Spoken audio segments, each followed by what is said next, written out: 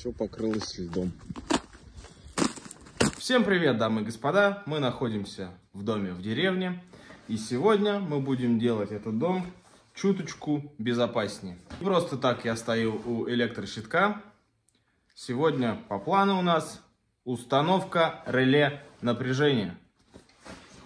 Как вы можете помнить, осенью я установил вот этот щиток собственной разработки, так скажем, собственного производства. И сегодня мы будем его модернизировать. К слову, сейчас реле здесь установлено, но самое простое, максимально дешевое. В общем, и так щиток вышел на тот момент, я считаю, что дорого. Поэтому реле было куплено из принципа просто, чтобы было. Но сейчас мы это исправим. Кроме глазка, о том, что оно функционирует, там нет вообще ничего. А хотелось бы, чтобы, собственно, реле напряжения показывал еще и напряжение. А здесь у нас реле аж с тремя экранами и будет показывать не только напряжение. Реле. Инструкция. Единственное, но так просто установить его не получится, так как реле трехконтактное, а у меня четырех. То есть оно разрывает фазу, а 0 сюда идет просто для питания. Вот, собственно, схема подключения. Да. Надеюсь, я найду провод, чтобы нарастить. В общем, надо снимать щит и смотреть, что к чему.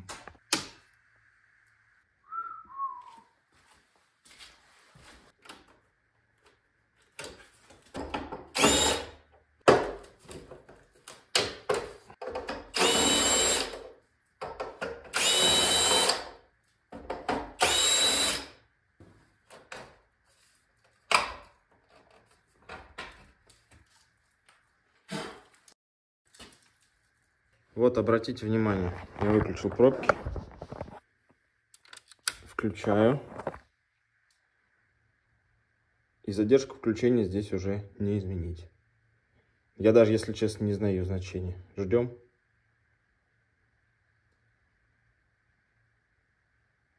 A few moments later. Что долго. Военный городок до сих пор без света. Местные жители все еще ждут и верят, что электричество дадут. Продолжаем ждать.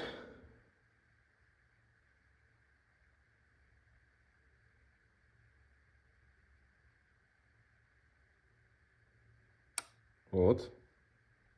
Свет нам дали. В общем, возможно, уже можно работать. Ну, то есть, вот я выключил рубильник. И уже могу, в принципе. Ну, то есть, питания нет нигде. Кроме как на входе. Вот она фаза. В общем, в принципе, уже можно работать. Но я но я перестрахуюсь и пойду выключу еще один рубильник на улице. И вы будьте внимательны и всегда отключайте вводной автомат, если он у вас есть. У меня фактически их два, ну, непосредственно у счетчика и в щитке.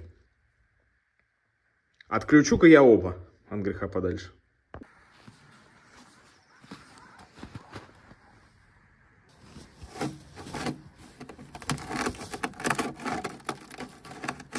Я забыл, что раскручивать-то его и не надо.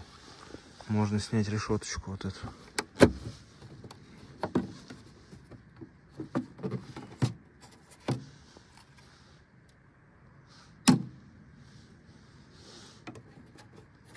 Дом обесточен. Теперь все обесточено окончательно. Вводной автомат отрублен. Сделал импровизированный фонарь со второго телефона. Вот он. Я снимаю реле.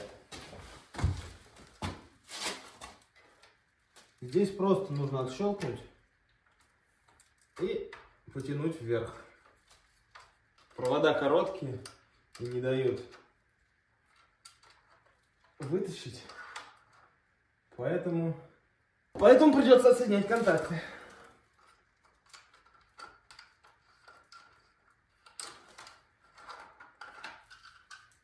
Релюшка демонтирована. Успешно. Осталось разобраться, что к чему. Как было раньше. Фаза шла на релюху, на нее же шел ноль и с нее же все расключалось по узошкам. 0 в новом реле нужен только для питания, поэтому он заходит на реле и пошел дальше по узошкам. Как-то так. Навешиваем реле на динрейку. Чтобы установить, нужно просто отжать защелку. Такое ощущение, что всем компонентам 100 лет. Слишком уж свежо смотрится новое реле. На самом деле это просто серый пластик. Не обращайте внимания. Собственно, что дальше, спросите вы? А дальше присоединяем нули фазу на вход реле. А потом делаем перемычку. Погнали. Максимально раскручиваем, особенно нулевую клемму. Сюда нам предстоит впихнуть два провода. Так, фазный провод подключен. Дело за нулем. Самое прикольное, что у этого реле есть журнал аварий. То есть в случае каких-то экстренных отключений я хотя бы смогу об этом узнать. А не как уже бывало, приезжаешь, все работает, но батареи почему-то чуть теплые. А ответ простой. Видимо, ночью выключали свет и не работал циркуляционный насос. Котел горячий, все работает, но батарея остывшая. Отопление работало, но не работал насос.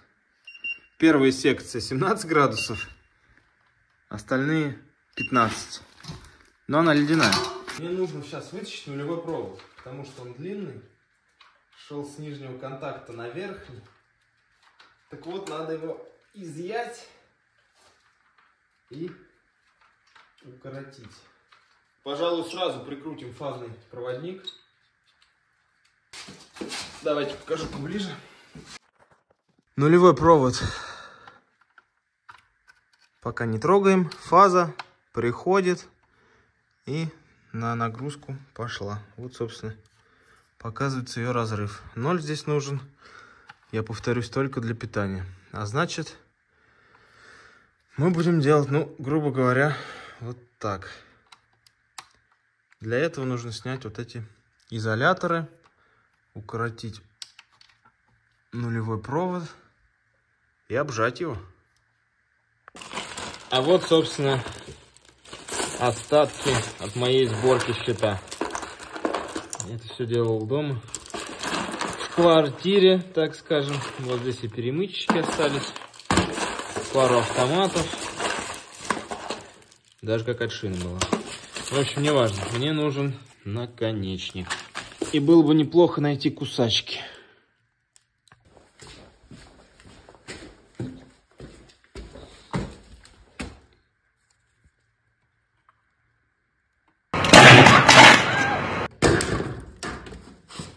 Снимаю изоляцию. Так. О. Ну, отжимаем теперь. Все, готово.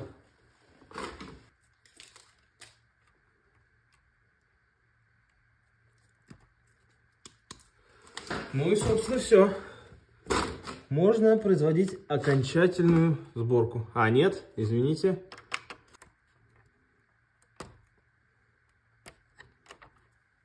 Готово.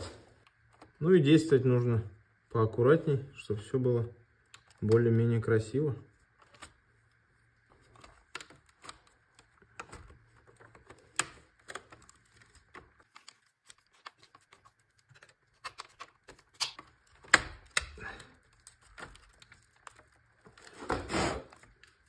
протянуть контакты, и можно считать это дело завершенным.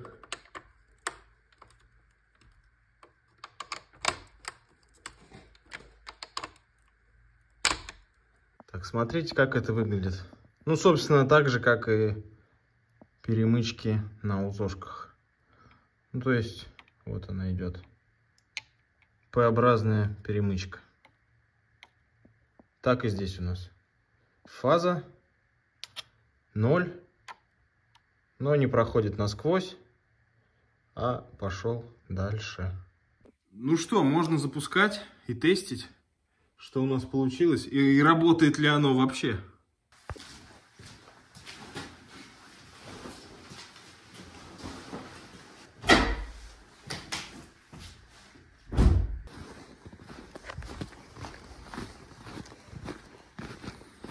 Так, момент истины. Надеюсь, не сгорю.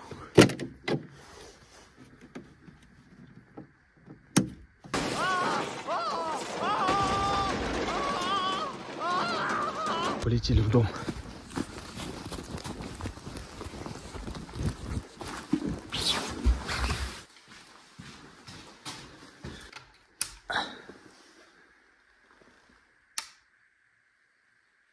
Так, реле щелкнуло. 231 вольт. Ого. А теперь смотрим скорость срабатывания этого реле после отключения. Вот я отключил все. Загорелся экран. Раз, два, три. И срабатывает очень быстро. 10 лет гарантии. Представляете? Надеюсь, послужит. Можно закрывать щит крышкой. Установилось все легко, без каких-либо изменений. Ну, да, из длинного провода я сделал перемычку нулевую.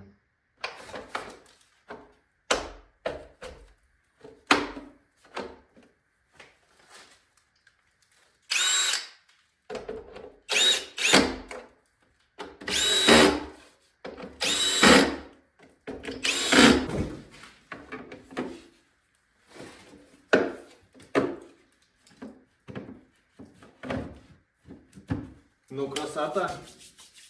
Я уж пока не снимаю. И так весь ящик заляпал монтажной пеной.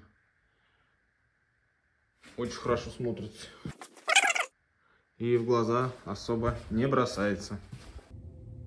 Ну, во-первых, это красиво, скажу я вам. А с функциями еще предстоит разобраться.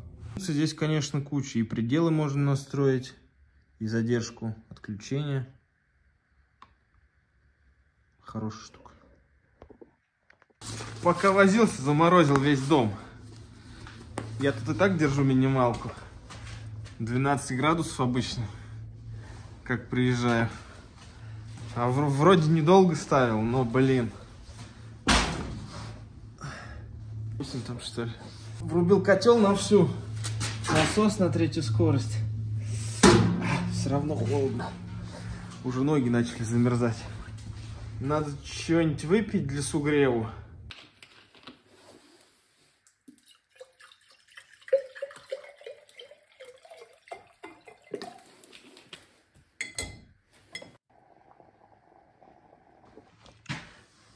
К сожалению, придется тоже из банки.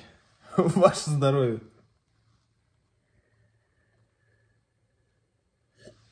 А! Кипяток. А после трудов праведных можно и мангальчик разжечь. Да крылышек пожарить.